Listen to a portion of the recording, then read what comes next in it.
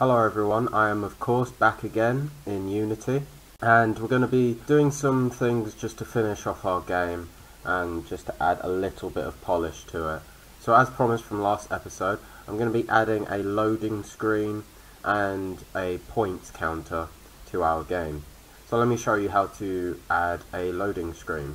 What you're going to see is that I've got a lot of components pre-baked in and I'm just going to delete a couple of components just to make it so that you guys can keep up. So I'm just going to delete this and the first thing that we want to do is we want to go to canvas and then right click on canvas UI then go to UI image where is that? There we go UI image.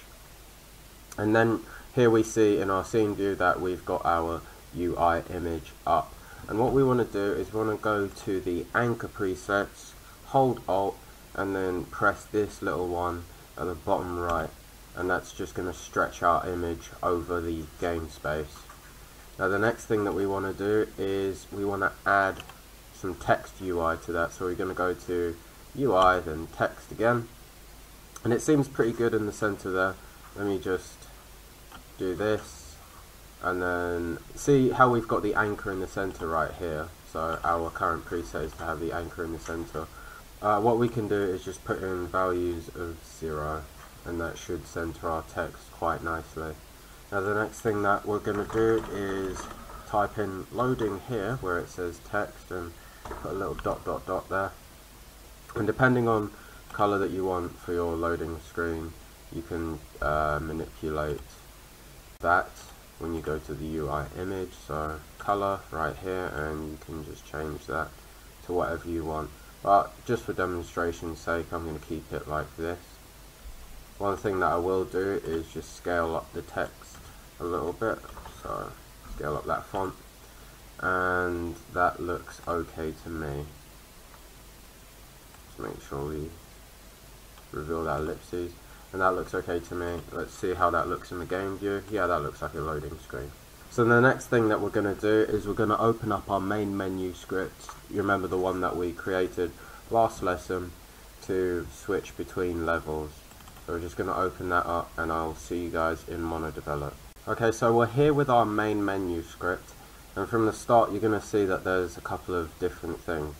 Now the first thing that I want you to type in is public game object image and then the next line that we want to input so usually you wouldn't have this just want to make a space here and then input image dot set active. And what that should do is as we open up our next scene we're going to be presented with the loading image. So our player knows that they're actually being taken to the level and that everything's fine. So it's just a nice bit of feedback that just makes sure our player knows that the game is running properly. So once you've added those lines of script what you want to do is just save it. I've got mine all saved up and then exit that. Now back in Unity we want to assign that image for loading because we made that a public game object. So what we're going to do is we're going to go over to canvas and down here we see image missing object. I'm just going to drag this in here and now let's test out what happens when we uh, do this. Just a side note about the hierarchy of the UI. Things that are at the bottom of the list appear in the front, so it's just a reverse of Photoshop. So we, we don't want this to happen, we don't want our buttons to be on top of our image. So if that's happening, then just rearrange things, clicking down, holding, and then just dragging along the hierarchy just so you've got everything that you need. But let's test out this script. Oh, that's another point. Before we actually press play, what we want to do is we want to deactivate. Oh, we want to deactivate that image. So once we've selected image, look at its inspector and uncheck it just to deactivate it because otherwise we're just going to be presented with a loading screen and that's not too great. So once you've hit play, just go to your level and there you have it, you've got a loading screen and we are into our game. Now if you've noticed we've actually got another component which we're going to add in a second which is the score up here. So we're going to do that right now as we switch scene. So here we just want to save that scene. So save scene. It's going to ask us anyway once we switch. Go to your levels folder or wherever you've saved your scenes and then I'm just going to go to level 1 and this is where the game is. Okay, for this part we're going to be messing around with the canvas again. So if you've got your canvas like this, then just click this arrow to drop it down. And then we're going to right click here, UI, and text. Now I've already added my text, but I'll just delete mine right now so you can follow along with me. So UI, then text. So we want to change what our text says, but this isn't going to be permanent, so you can literally call it anything right here. Because the way that our text is actually going to be displayed is going to be dictated by what we put in our script for this component. But just so we get a nice preview of what's happening I'm just gonna have it like that. Scale that font up to 15 and change the color to white alright now let's just go to anchor presets hold control uh, hold alt and shift sorry and then move that down in line with the other UI components that we have.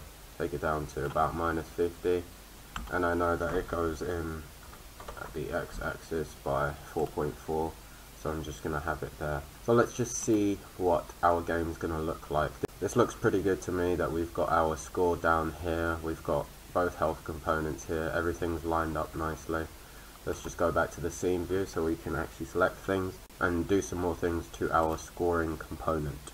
So our text component is going to be what's affected by our script. So we want to add a script to that so we can just go to add component new script but I've already got a script so I'm going to add component scripts and then go to score manager. Make sure you call the script score manager because I'm going to be linking where I got this script in the description below. But we're going to be making some changes to it. But if you keep it as score manager then you don't have any complications with how the script is referenced. So we've added our script, now let's go into it and see what we've done. Okay, so now we're here in MonoDevelop and as you can see I've got some of the notes here still. But this is what our script is going to look like. So everything's referenced properly and if we leave our text just as text, we're not going to have any issues. So with our scoring script, there's not actually any differences from the source code. So if you keep everything the same, then you won't have any issues popping up. Now the next thing that we want to do is we want to find out how we can apply hitting the enemy with our point script so that every time we land a hit on the enemy, our score counter is going to go up by a certain amount. So if we go to our destroy enemy script, and this is the script where we set everything for our enemy's health bar, if you open this script we just have to make some slight adjustments. So the first thing that we want to do is where it says e player health and in between uh, that and destroy damage, you just want to input this line of script. And that's basically saying that we're going to reference our score manager so that the score goes up by the value that we've set and the value that we've set is in this public int right here called score value. And right now I've set mine to 5 you can set it to whatever you want it to be. And that should be it for our destroy enemy script.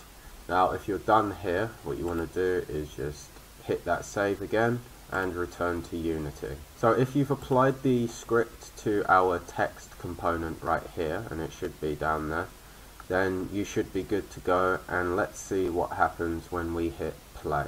Now if you just turn your attention to the top left you're going to see that the score component is going up in increments that we set so uh, or intervals that we set. So mine is going up by 5 each time I hit the enemy and I know that my final one's landed because I'm at about 500 which is roughly how much we should score seeing that our enemy has 100 HP, each hit is 1 HP. 5 times 100, that is 500, and I probably landed an extra hit because the bullets are going so fast. But that has been it for this part of our Unity tutorial, and the main part of this tutorial to be honest. I'm pretty satisfied with what we've come up with. We've come up with the skeleton of a very good game and with some artsy components added to it we could make something really viable, really nice and just something fun to share with other people and that's what the aim of this project has been. So I haven't gone into the aesthetic side of many things but on the gameplay side, I'm pretty satisfied with what we have. Thanks everyone for sticking around through this tutorial. Thanks for asking questions, giving requests, supporting, liking, subscribing, and all those kinds of things. And now I guess I'm just gonna say this is the end of our Unity tutorial. Well, formal end of our Unity tutorial. If you guys want anything different from this tutorial, if you want me to go into different aspects, then just leave a comment and I'll do my best to make good on your requests. But for now, as always, it's been me, press any button, and I will be back another time.